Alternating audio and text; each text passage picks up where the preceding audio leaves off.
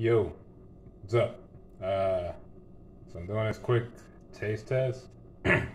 uh, Mountain Dew, mystery flavor, uh, limited edition 2022. Um, I saw a post of this, I think.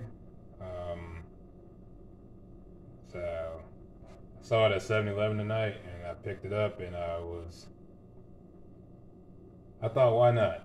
I'll try it out. So, um, got a clear hue to it,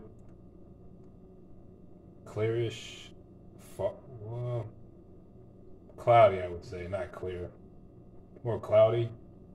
Um, 270 calories. This is a lot, man. Uh, 72 grams of sugar.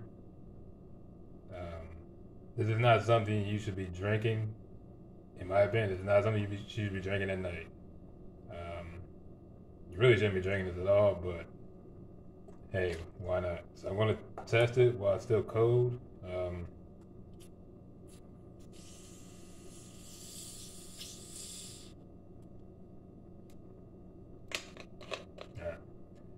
Let me give it a little whiff.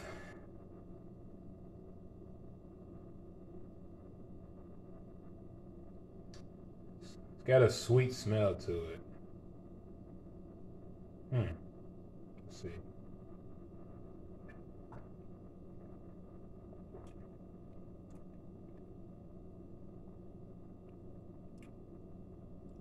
It's uh it's just sweet. There's no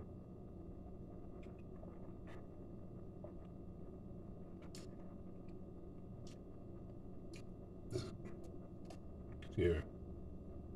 It doesn't taste like anything. It's just it's sweet. Uh, it tastes good, but it doesn't taste. It tastes like, but it doesn't taste like Mountain Dew. It tastes like.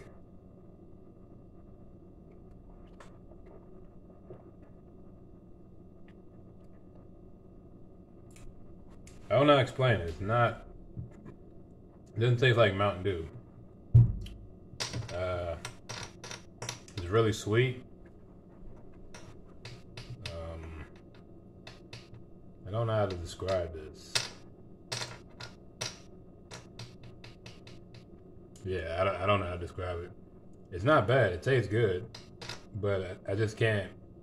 I can't put my finger on what it tastes like. Um,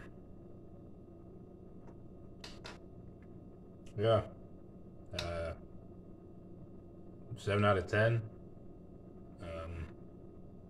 Like I said, it's good. I just can't figure out what the taste reminds me of. But um, yeah, if you ever if you're in a 7-Eleven, that's where I found it. Uh, Mountain Dew VooDEW mystery flavor.